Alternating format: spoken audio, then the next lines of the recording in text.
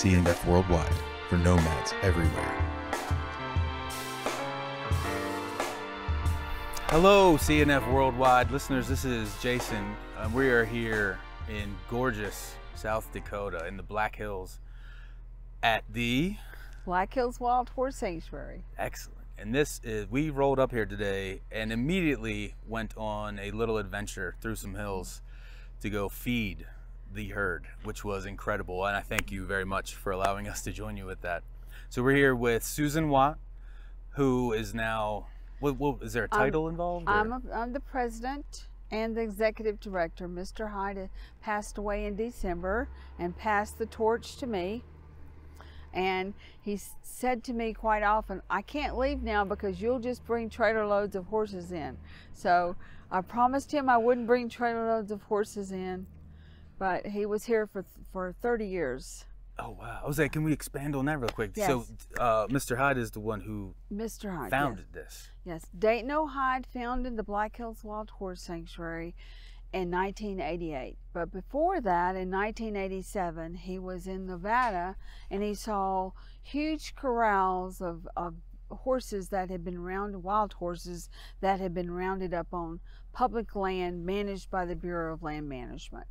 And he said to himself, this is not the way to treat wild horses. His life as a child, he left Michigan to go to Oregon to, to be on his uncle's ranch, Yamsi, because his uncle had written a letter that the cowboys just brought in a herd of wild horses and was going to gentle them in the corral, and that he could catch as many fish as he wanted to. So, who would not stop at a 13 year old going to Oregon to see the wild horses and catch fish. So he went to Oregon and he he arrived at his uncle's ranch and he, he makes one comment that sticks in my heart. Though he had never ridden a horse and he had boots and he had jeans, but that day he became a cowboy. And his life at Yamsi is what brought him to South Dakota, his love of wild horses. So in 1987, at 60 years old. He's in Nevada buying cattle for his ranch in Oregon, Yamsi, and he sees these wild horses rounded up. And he says, This is not what wild horses, they should not have to live pinned up in a corral. So it took him over a year. He went to Washington and, and met with Congress, had to petition Congress, and they actually had to vote on allowing him to have 300 of the unadoptable wild horses. So that took from 87 until September of 1988 for the horses to arrive here. But in that time period, he had to find some land. So he went to places in, in Oklahoma and he went to places in other parts of the world. But this, the governor, George Mickelson of the state of South Dakota, had heard about what Dayton Hyde was doing, and he called him up and he said, Why don't you come to South Dakota? I think we have the perfect parcel of land that would make a wonderful wild horse sanctuary. So Dayton flew into Rapid City and they picked him up in a National Guard helicopter and they flew over this piece of land. And this piece of land had been bought by Honeywell in the early 80s for munitions testing to blow up bombs up in the canyon.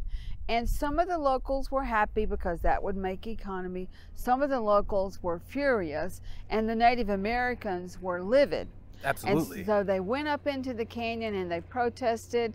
Our friends in Minneapolis protested, and Honeywell finally said, forget this. And so the, the property they had purchased then went to the state South Dakota Community Foundation. So Governor Mickelson had an idea. Well, why don't we turn this into a wild horse sanctuary? So with the help of the state of South Dakota, the Bureau of Land Management, the South Dakota Community Foundation, and the Institute of Range and American Mustang, which is the illegal name for this nonprofit, they said, okay, we'll do this. Now, it took almost a year because it had to have preparations. He had to make sure he had fences. He had to get Congress to say he could have some horses. So The first horses arrived on the property in 1988, in the in the end of September of 1988, to the other side of the ranch, and he had built 20 miles of fences and lots and lots of preparation to bring the horses here because they didn't know anything about this country. A horse is married to the land, and when you remove them from the land, they have to fall in love with the land again. And so, and now our horses have fallen in love with the land. But in 1988, it was a constant battle to keep them on the property.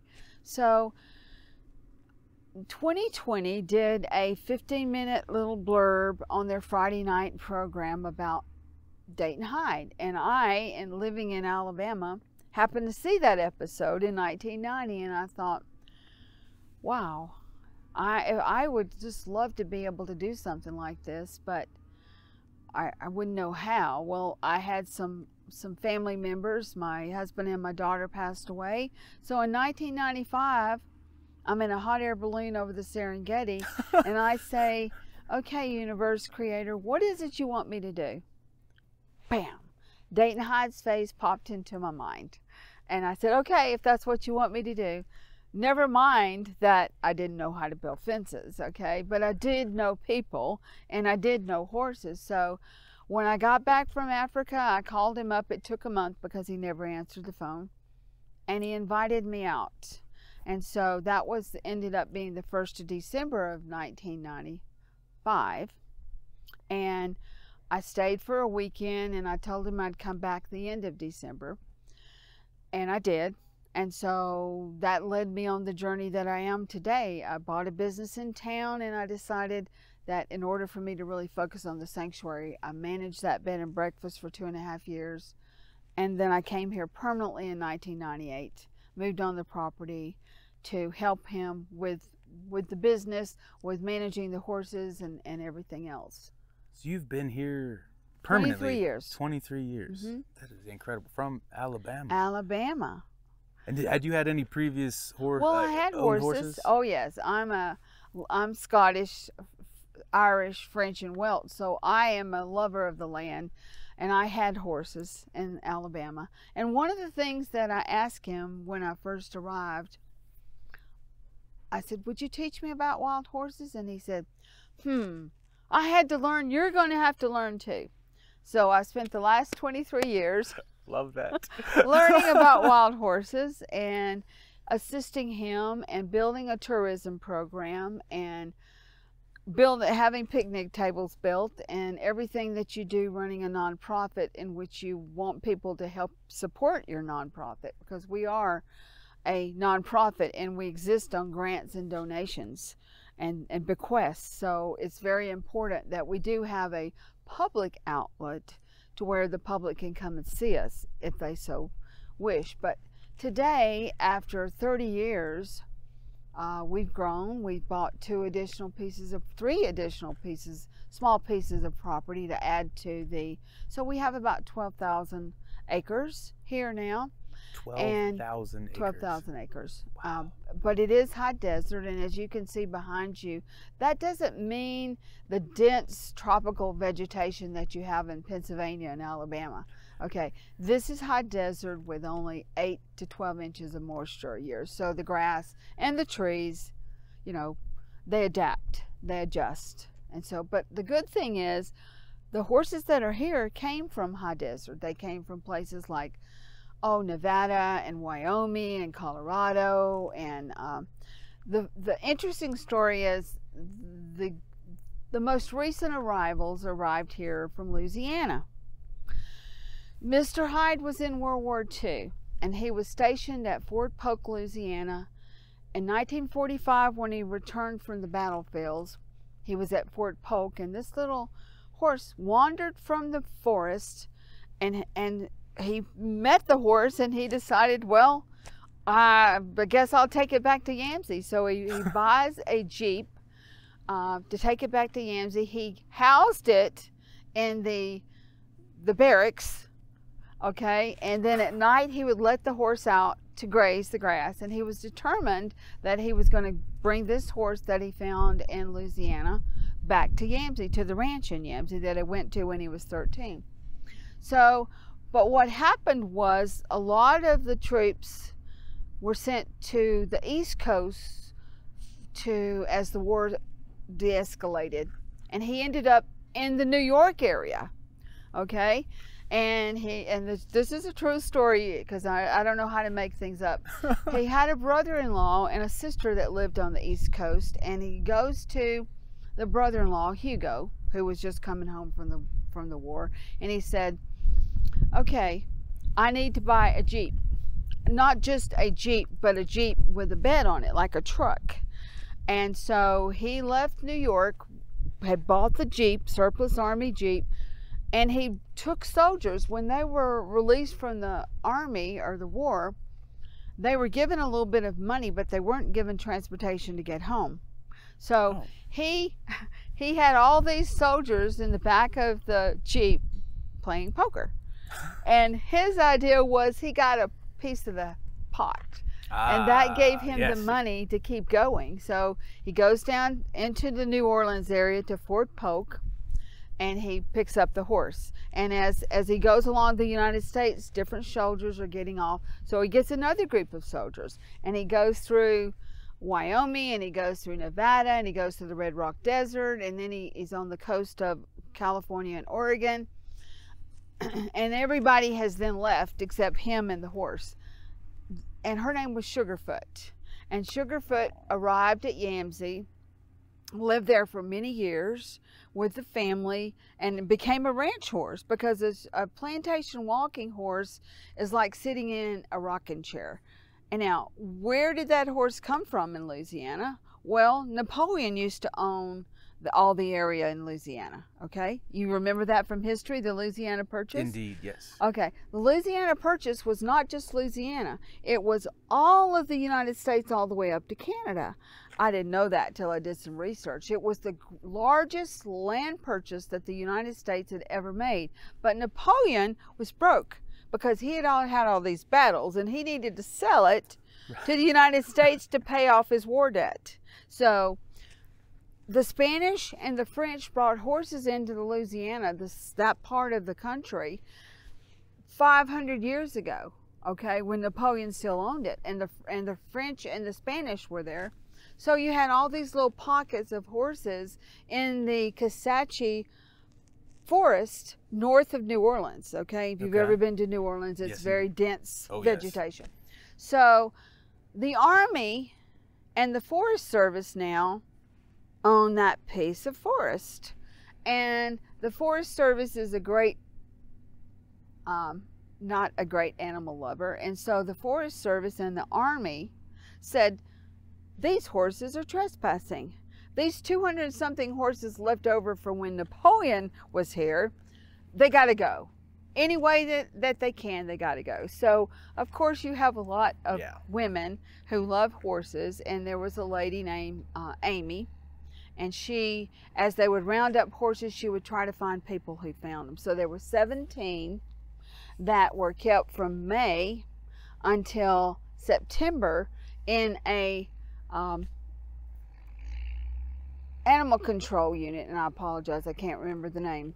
This it was a it's a parish there in louisiana and they kept the horses for four months three months Oh. until we could they could find a place for 17 horses and so finally I said, they can come here. So Best Friends in Kanab, Utah, another animal sanctuary, arranged for transportation. We got the horses ready and they arrived here in the late September of this year. Ironically, what is that the ceremony of? The anniversary of of 1988, the first horses arriving. But the connection was that in 1945, Dayton Hyde encountered these horses in Louisiana, and I said, We have to bring them here in honor of Dayton Hyde's Sugarfoot that he took from those the Kisatchie forest to Yamsi because they have worth, they have value. They're not very big horses. They're they're ponies, really, is what they are. Because the Spanish never had very large horses. They mostly had pony stock, and so that's our most recent most recent um, horses coming into the program. So that's uh, to me that's our um, not only are we com- commemorating Dayton Hyde and his life, but we're also saving the life of those 17 horses that had nowhere else to go. And in that case, could they potentially wind up in slaughter? yes, Yeah. yes, yes. And there's a lots of horses that go through the kill bars in Louisiana.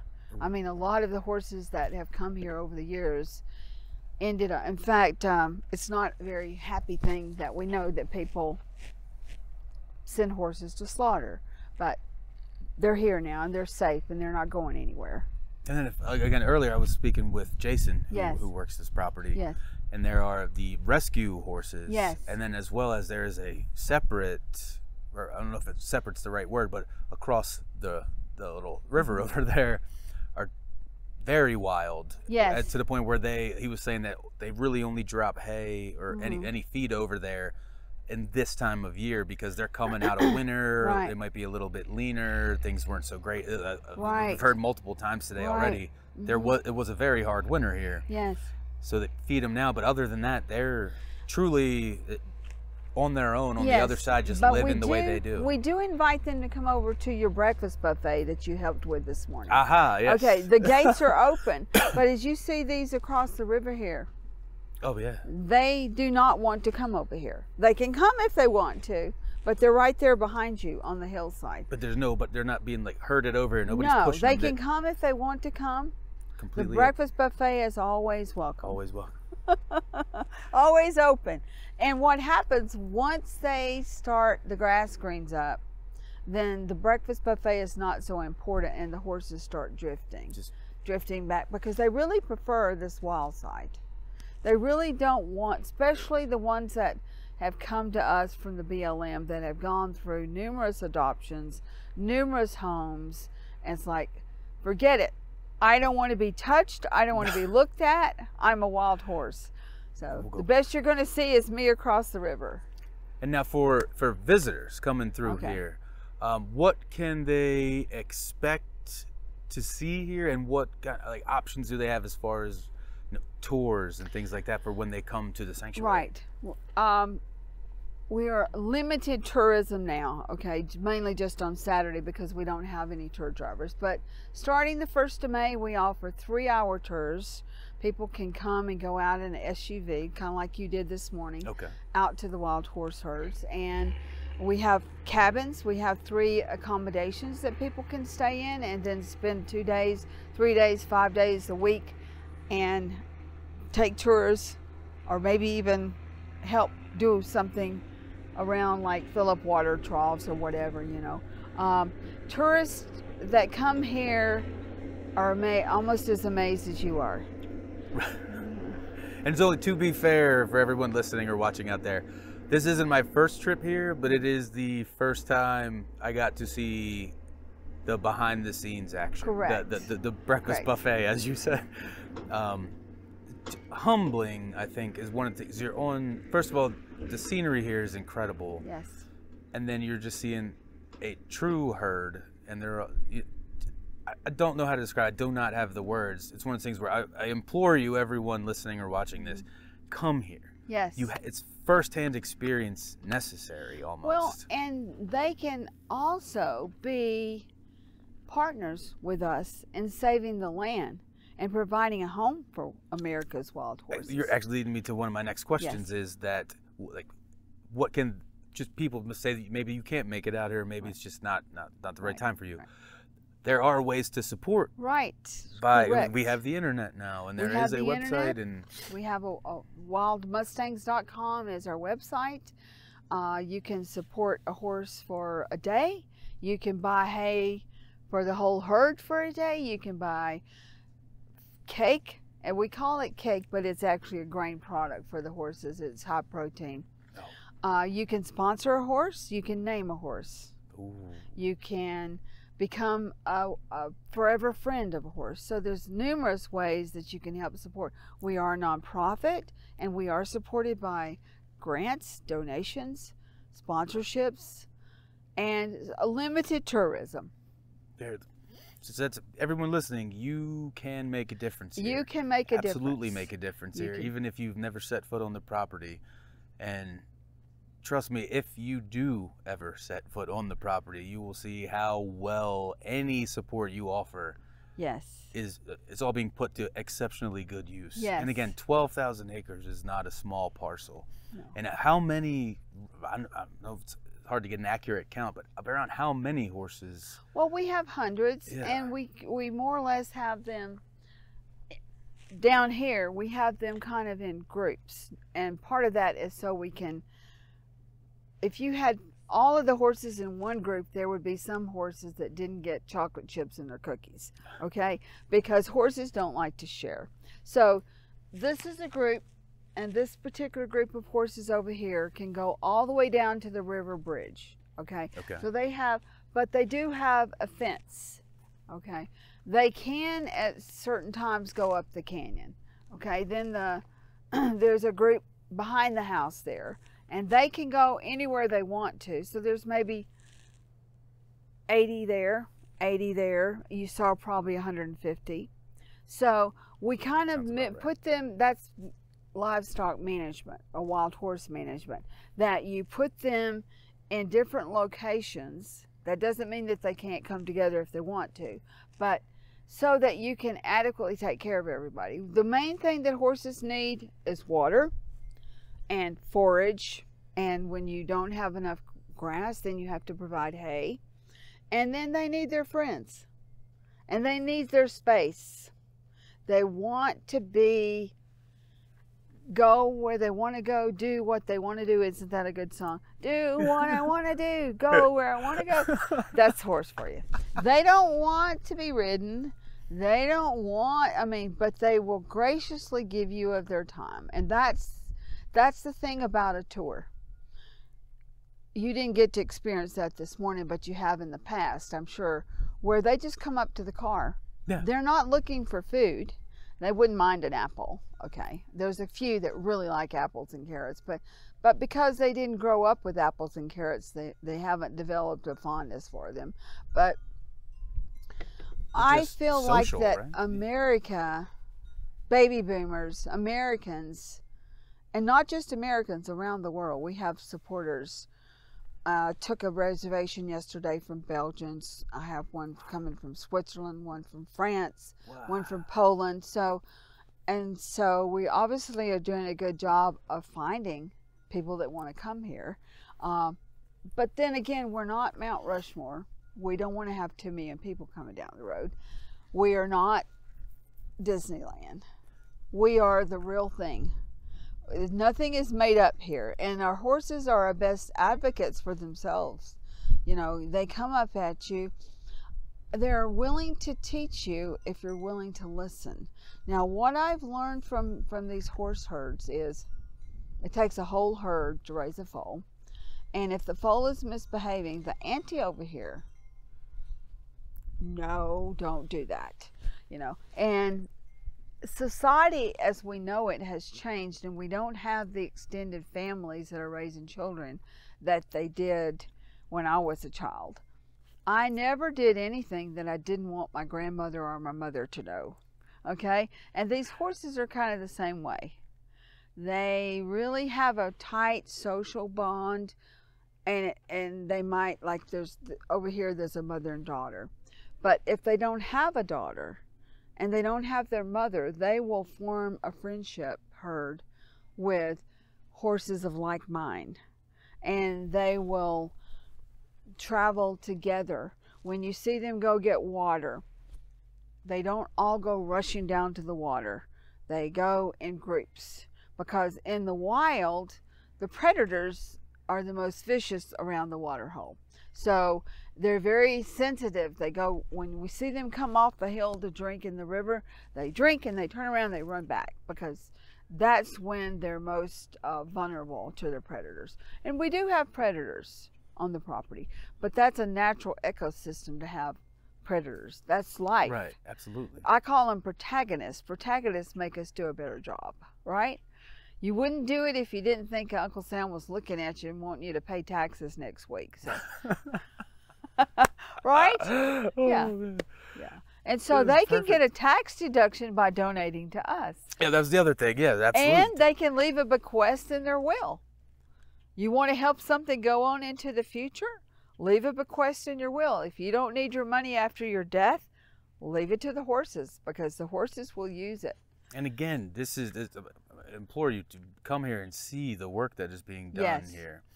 Because this again, it looks to me like I grew up in southeastern Pennsylvania around farms. This obviously has slightly more Mm-hmm. impressive scenery than I was used to, but it, it is a working farm. We got here around. I I saw you drive in like and a I little after eight. apologize. Oh no, that was fine. We were, that was the point was to get here early so we could kind of so see. what all did you see? We saw well, Jason was Yeah. amazing. As gave us a little bit of the breakdown Yeah.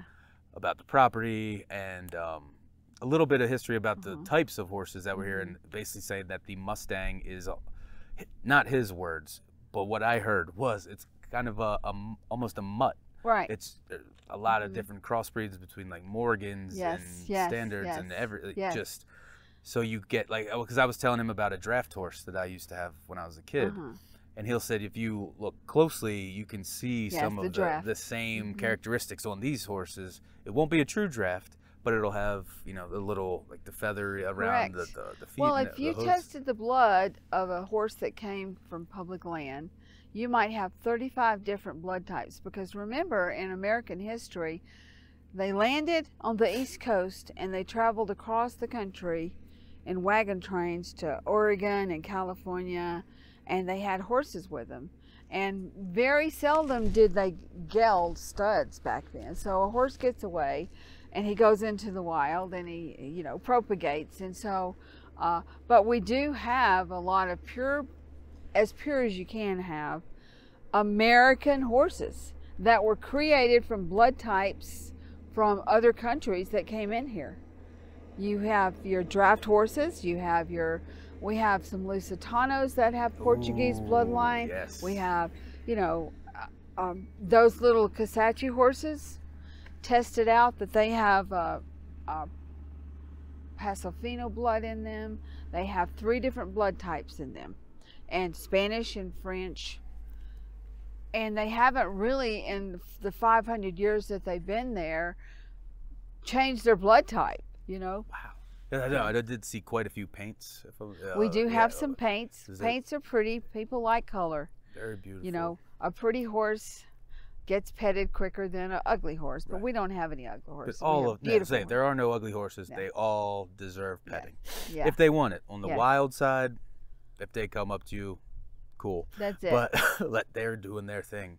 If you could, uh, if there's one thing or anything that you just would like to tell the general public of that maybe have never heard of this place or are thinking about coming here, like just a, a message to them about why they should. yes, check- check you one of the quotes, and I'll I'll quote Mr. Hyde because not only is was he a tremendous inspiration to many, he also was a, a prolific writer, and we have many of his books in our gift shop. And one of the things that touched my heart was he said that man does not have dominion over the earth as most religions say, but rather caregivers, caretakers of our fellow travelers.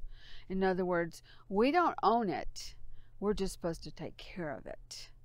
And that to me really reson- is, is a chord in my heart that we don't own it. We're supposed to be responsible and take care of it. We have responsibility to take care of all the animals, all the beings, the water. We have the responsibility to keep the water clean.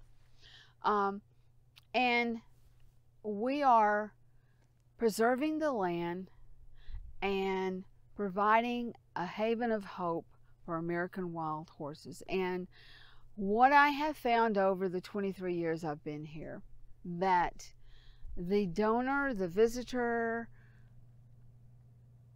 a lot of them are women, okay? Women like horses, but they're from places you would never expect.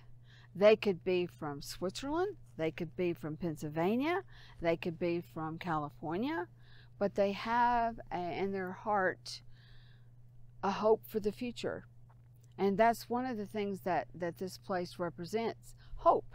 that you can come here and you can one day there might not be that many wild horses on public land you can come here and see wild horses you can see natural a river flowing through it you can see uh, the native american petroglyphs you can feel like america was 300 years ago Amazing. And I 100% second that. hmm Absolutely. You have to see it to believe it. yes If not, if nothing else, go to wildmustangs.com. com hmm with Check out the site. Yeah, with an S, wildmustangs.com. Check out the site. Yes. See what they're doing. Uh, they have a Facebook presence Mhm. and um, Instagram as well. yes And we will be linking to that in these posts. So you'll hopefully Good. on the video you'll see that flash up on the screen right hmm now. hmm Um, Susan, thank you so much. You're so this so has been incredible, informational, and ju- uh, again, cannot describe the beauty The through this microphone. Hopefully, our pictures, our video does it at least some sort of there, justice. you can see some. well, That's another piece of property that we just recently purchased. You can see the houses. That's the hill property. We call it Mustang Meadows. There's a group of horses across the river. Can you see them? Just little dots. yeah. Wow. Okay. So we kind of, like I said, our goal is to add more land so that we can provide more homes for wild horses. But land requires money. Indeed. And if someone wanted to help us purchase more land, we would be more than happy to talk to them. Susan, you guys hear that? Yes. You guys hear that? More land means more horses. yes, yes, Means more opportunities for you to come visit correct. and check out the magnificent, magnificent Black Hills of South Dakota. correct. again, I cannot thank you enough for allowing us to come here and film. It has already been an amazing day, and I don't even think it's noon. Right. so I think we're going to wrap up this interview, but we have much more to shoot. So uh, for those of you watching the video, stay tuned. For those of you on audio, thank you very much for your time. Again, Susan, thank you and your staff here. This is Jason, C&F Worldwide, signing off. Take it easy, nomads. C&F Worldwide for nomads everywhere. This broadcast was produced by C&F Limited for Nomads Everywhere. The contents of this broadcast are the property of C&F Limited. All rights are reserved. For more information about C&F publications, contact us at 305 707 4024. Find us on the web at cnfltd.com.